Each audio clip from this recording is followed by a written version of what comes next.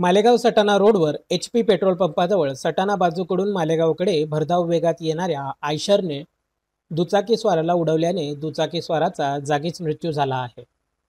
काल सायंकाळी साडेचार ते पाचच्या सुमारास मोहम्मद तौफिक मोहम्मद नासिर वय एकोणतीस राहणार ईदगाव झोपडपट्टी असताना सटाणा बाजूकडून भरधाव वेगाने येणाऱ्या आयशरने धडक दिल्याने अपघातात तौफिक गंभीर जखमी झाला होता. यामध्ये तौफिक उंच फेकला गेला व रस्त्यावर डोके आपटल्याने गंभीर जखमी झाला होता.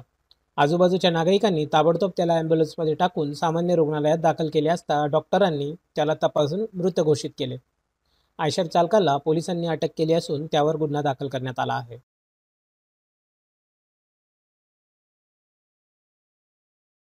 आज तकरीबन साढ़े चार बजे के करीब में टेरा फाटे के ऊपर एक एक्सीडेंट हुआ।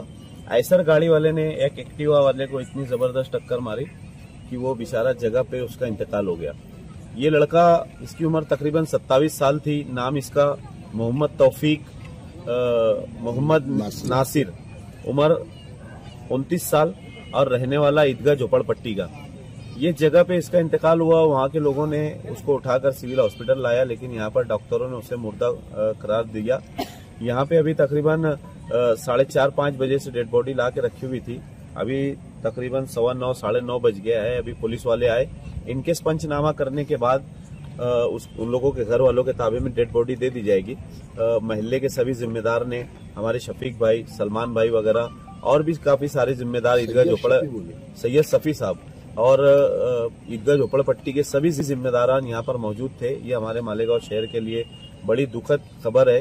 ऐसर गाड़ी वाले की गाड़ी में भाजी पाला वगैरह भरा हुआ था और अभी शायद पुलिस ने उसके ड्राइवर को भी गिरफ़्तार किया है ऐसर गाड़ी वाले को। और डेड बॉडी उठाकर लाने के बाद अभी आधे घंटे में इंशाल्लाह उनके घर वालों के ताबे में डेड बॉडी